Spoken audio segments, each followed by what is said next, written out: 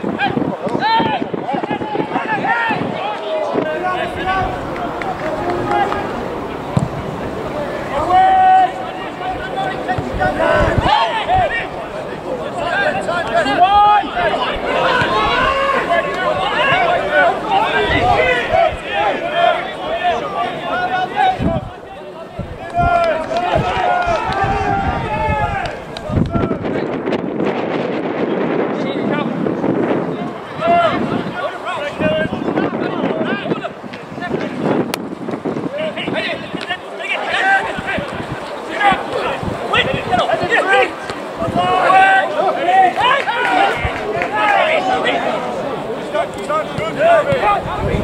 a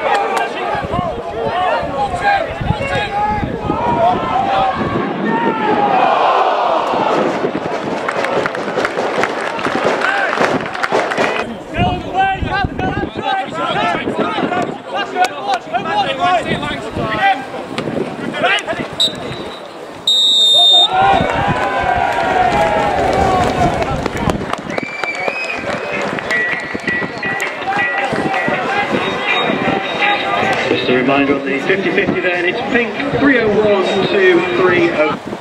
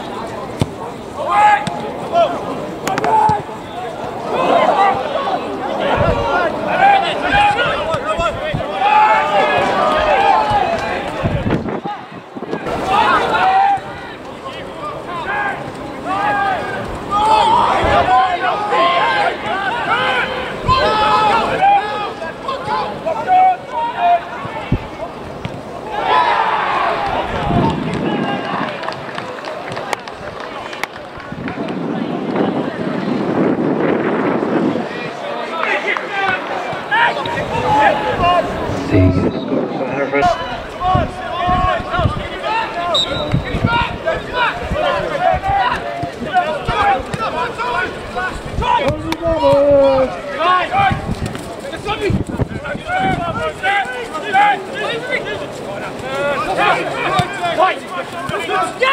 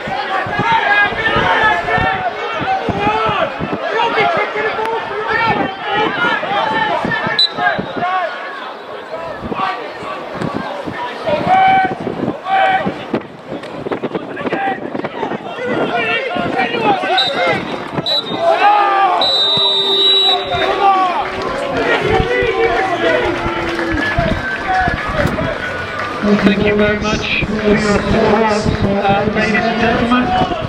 Very much appreciated. And good luck to uh, Hereford in the next round of the trophy.